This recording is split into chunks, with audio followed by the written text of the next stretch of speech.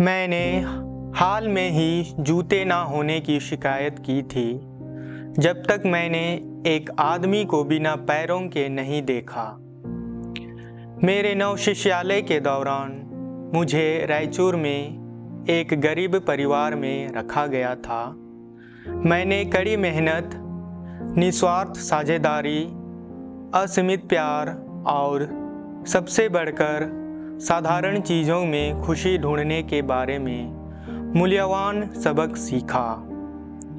इस अनुभव ने मुझे उन आशीर्वादों का एहसास करने में मदद की, जो मेरे पास पहले से हैं और इससे मुझमें उन्हें दूसरों के साथ कृतज्ञतापूर्वक साझा करने का महत्व मौका मिला। इस चालीसे के दौरान आइए न केवल संतुष्ट रहें, बल्कि सक्रिय रूप से कृतज्ञता का अभ्यास करें।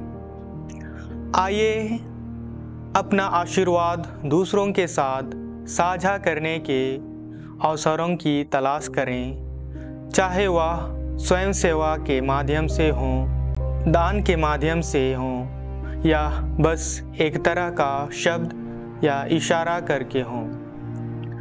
याद रखें सच्ची खुशी अक्सर देने में होती है सिर्फ़ पाने में नहीं।